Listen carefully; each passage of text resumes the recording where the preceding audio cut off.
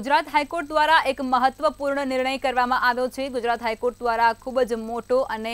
અતિ મહત્વપૂર્ણ નિર્ણય કરી લેવામાં આવ્યો છે જેમાં લગ્ન જીવનના વિખવાદો માટે લોક અદાલત હશે તેવું કહેવામાં આવી રહ્યું છે વિખવાદો પૂર્ણ કરવા લોક અદાલતની હવે રચના કરવામાં આવશે તેવું કહેવામાં આવ્યું છે અતિ મહત્વપૂર્ણ નિર્ણય કહી શકાય છે લોક અદાલતમાં સમાધાનકારી બળણથી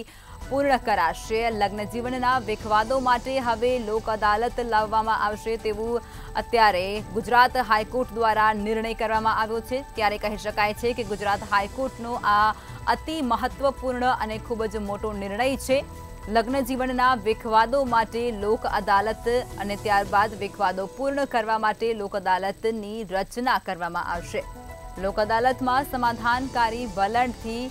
પૂર્ણ કરાશે તેવું પણ જાણવા મળી રહ્યું છે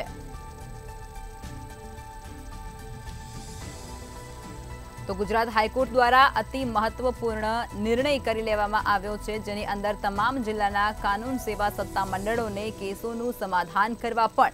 सूचना આપી દેવામાં આવી છે ત્યારબાદ અદાલતોનો ભારણ ઓછું થાય અને પારિવારિક પ્રશ્નોના નિકાલ માટે